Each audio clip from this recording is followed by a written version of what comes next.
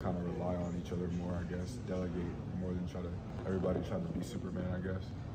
Why was Coach Grinch after the game? Excuse me. How was Coach Grinch after the game? Um, he's always positive. He always gives us credit. He always um, shows us a whole lot of love. Um, obviously, he's not not happy. Nobody's happy, but um, and we're looking forward to moving forward. What do you think could have been the cause of the lack of trust in the foundation? Uh, I'm not sure. Initially, you know, just off the top of my head, I can't really tell you. I don't know. Um, so um, it's probably different for you know everybody. Honestly, um, I got to look at myself and see what it is for me. So uh, it's something for us to focus on moving forward in this offseason and get fixed. What would be said on the sidelines after those quick scoring drives they were having? You guys got up to the sideline. How would you kind of come together and talk about it? How would you handle it? Uh, the biggest thing is like respond. That's that's part of our foundation as well. Is just making sure that you know football's football. You know they're going to make plays. Um, it's not necessarily about being perfect, but it's about being able to bounce back and you know give it your ne- your best shot the next time. Um, so that was the biggest thing after those big big drives or uh, quick scores or whatever. Uh, but yeah, just responding, making sure we're leaving the past in the past and kind of coming at it with a new attitude, new energy. What goes through your head after a safety where you guys have to come right back on the field after giving up a touchdown drive? Um, obviously, like I said, it's a tough play, but I mean, I have confidence in our guys. Um, there's never a moment where I'm, you know, down or um, kind of nervous. I just, you know, we got to play the next play.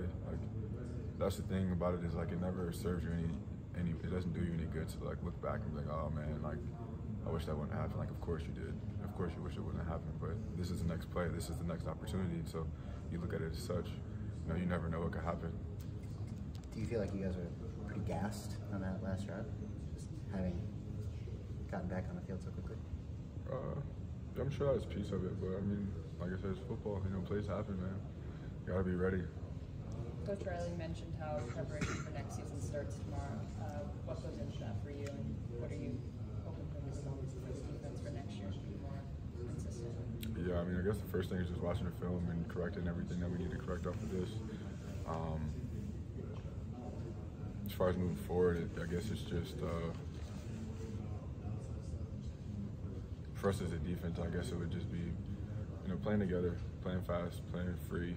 Um, I think that's the biggest thing. Uh, when we play fast and free and we're having fun out there, like we're tough to we're tough to compete with. Um, that's obvious. Like we've shown it through um, through other games and different spurts and stuff. But it's just about being consistent and doing so. Is there a sense of disbelief as things were unfolding those last four minutes? Uh, not really, because like, I was sitting there watching it. It wasn't really. It's just life unfolded, man. Uh, it doesn't always swing your way because you've, you've been on the other side of it as well. So it's not really any disbelief with it.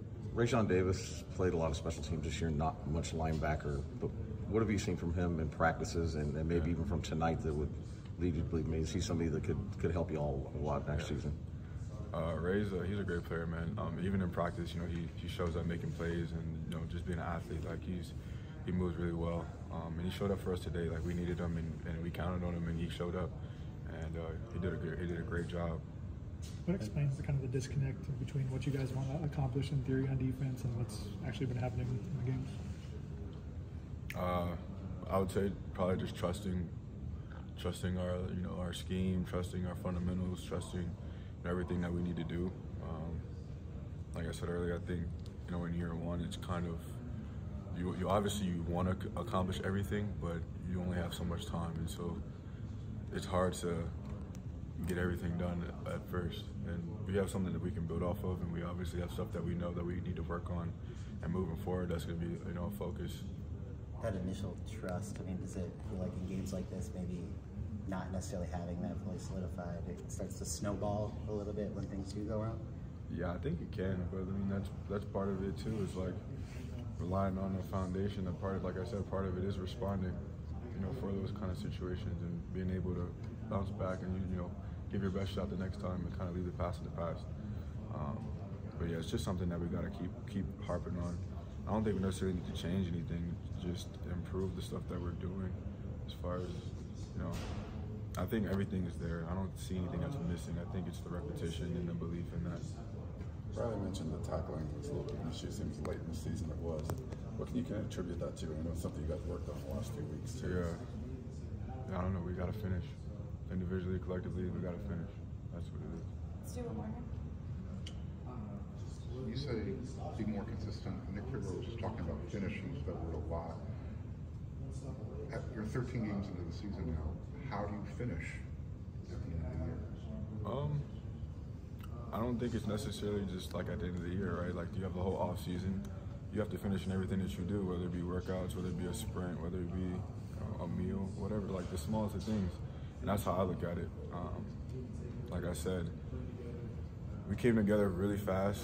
We have a lot of success this year. Like despite you know losing the big games that we wanted to win, obviously we've had a lot of success, and I don't think it's realistic to, to say that you know you should have everything set in stone or you should um, you know be exactly where you want to be after year one.